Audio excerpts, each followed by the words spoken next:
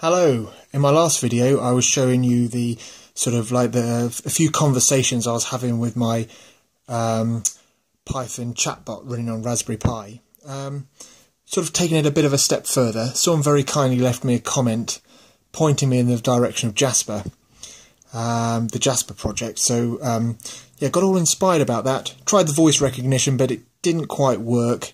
Uh, still trying to figure that out. But um, I seen saw a few versions or that were all nicely housed and, and presented really well. So I thought I'd give it a go myself. So here we are. It's the same. It's the same Carson running um, that I ran in my last video, but this time I've given him uh, given him his own box, given him his own face, um, and sort of working on some facial expressions as well as as well as the text to speech part of things. So if we run it, Okay, you've got to ignore all that text that pops up. I'm, I'm sort of working on getting tidying it up, but you get the, you get the general idea. And there he is. He just sits there on the shelf. Um, I had a little toy soldier, so you you get an idea of scale. Um, he's still you know, still communicate via um, Bluetooth keyboard like so. If I just say hi.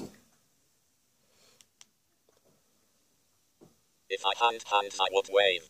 If I had hands, I would wave. Yep, very good. So he's still, you know, he, I've added a bit of randomness, so it gives him uh, in terms of what um, responses he gives to sort of like personal questions, but he's still able to act, um, answer uh, any factual question, that sort of thing, and send emails, and he's able to monitor email box as well, which is really nice now. Um, yeah, so what's the next step? Uh, obviously, tidying it up. Um, I'd quite like to go down the, the route of voice recognition but um, as I said, I'm having trouble. So I'm thinking I, I could sort of Bluetooth, Bluetooth um, connect my phone to connect him to my phone via Bluetooth. Have a little app. Um, I like playing around with App Inventor, um, and have a little Android app running, which basically takes your takes your speech, converts it into text, and beams it over. I think that for me would be easier. Um, but we'll see. It's nice to have this sat on your shelf, blinking away and monitoring your inbox and, and, and, whatever.